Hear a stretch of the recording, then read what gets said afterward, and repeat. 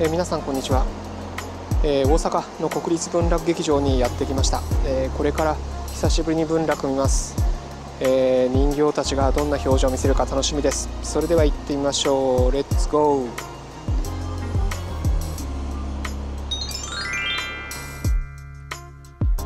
最初に文楽とは何かというものを一緒に見てみましょう。まず誰が演じるかということです。太夫三味線人形使い。まず太夫というのは登場人物のセリフやその物語の流れを語るのが太夫です。そして三味線義太夫三味線といって、えー、太棹ですけども登場人物の感情や情景を表現します。素晴らしい三味線です。そして舞台で人形を操るのが人形使いになります。基本は3名1組で操って1人は顔出しそして残りの2人は黒子と言いますけども忍者やスター・ウォーズのダース・ベイダーのように真っ黒な装束で人形を操ります。文楽は一体どこで行われるかということで大阪だと立文楽劇場東京だと国立劇場の小劇場で行われます、えー、舞台は歌舞伎と違って花道はありません舞台に向かってえ右手上手のところに、まあ、太夫と三味線の席があります。ぜひ一等席で見ることをお勧めします。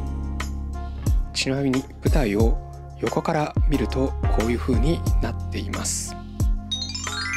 それでは一体何をということでもちろん主役は人形です。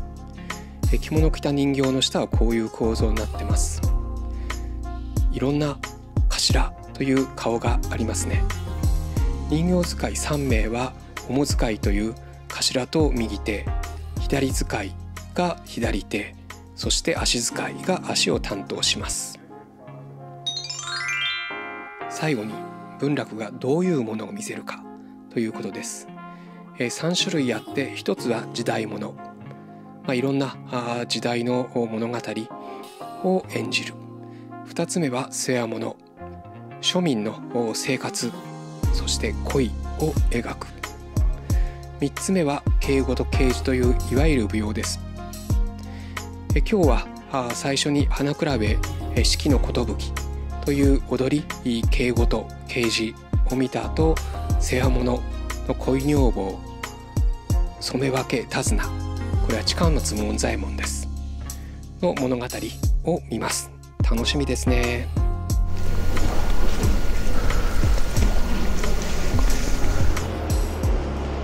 で今朝の部の前半の花比べ四季の寿というお話が終わりました、え花比べ四季の寿であってますね、えー、お正月の風景、えー、そして、えー、海海の海さん、えー、そこからお能でも見た外場小町のようなあ小町小野の小町の姿を描いたあシーン。そして最後、まあ、なんとこれは玉三郎の歌舞伎でも何度も見た「詐欺娘」という4つの式を表したお話でした。小野歌舞伎と比べるとプロトコルがあ、まあ、ルールが違うんで最初はあまあ圧倒的な、まあ、三味線と太夫さん、うん。まあ、全部で11名の音に迫力に驚きました。あと、まあ、黒子の人、まあ、イカの形をしたあ、まあ、頭巾をかぶった、まあ、黒子の存在そして、えー、人形使い。の人が顔を出してる方もおられますしそれにちょっと違和感を覚えましたけどもだんだん見てるうちに、まあ、人形が本当の人間のように見えてきました。え外国町は、まあ、小野の場合はあ、まあ、クールに、え儚さを出してますけども小野の小町があ、まあ、地面に、えまあ、地面を叩いて、えー、のたうち回るような、まあ、演技これはさすがあ暑い大阪の文楽ならではでしょうか。そして詐欺娘。これ綺麗ですね。いや本当に、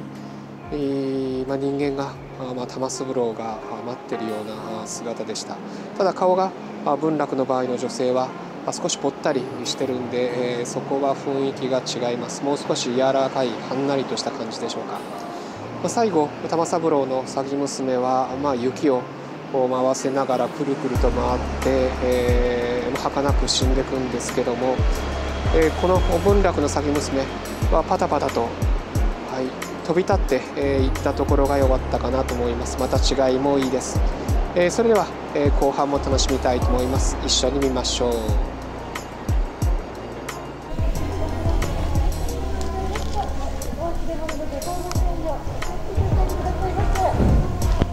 え後半の、